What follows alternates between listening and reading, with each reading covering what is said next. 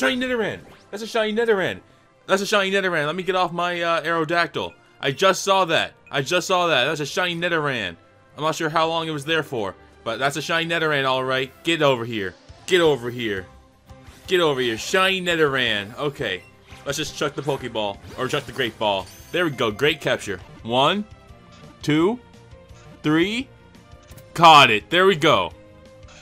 Got myself a shiny Nidoran female. Should be jolly with four perfect IVs. There we go. That's what I want. And I get to keep my chain too. I get to keep my chain too. So this is great. This is great. This is great. This is great. This is great. So got I got my target, and it should be it should be great. It should be great all around. So let me go to my Pokemon box. Let me go to my Pokemon box all the way at the bottom here. Shiny Nidoran female. Okay, let's change the markings on it. Favorite you. There we go. Let's check the summary there. Let me check the summary on you. Jolly with perfect special defense at the very least. Okay.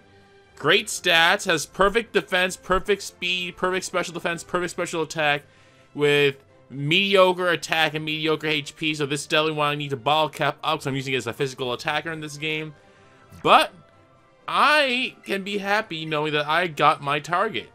So there's my Gyarados, my shiny Gyarados from before. Um, let me put let me put Eevee into the into the box for a second.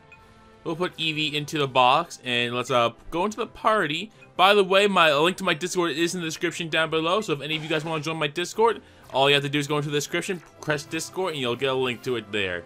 But there we go. Shiny Nidoran female. There's some. There's a normal Nidoran male and a normal Nidoran female. Oh, Nidoran male really wanted my my, my female.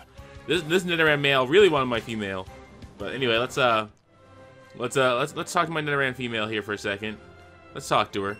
Talk to the little girl. What you gotta say? Nidoran female's bursting with energy. So that's another shiny down. So I might go for Vulpix next. I might even go for Nidoran male. I might just, since I still have a Nidoran female chain, I might actually stay on this route and just see what happens. But regardless, like, comment, subscribe, Kero Kero Studio, and I'll see you guys for the next shiny hunting video. I'm out.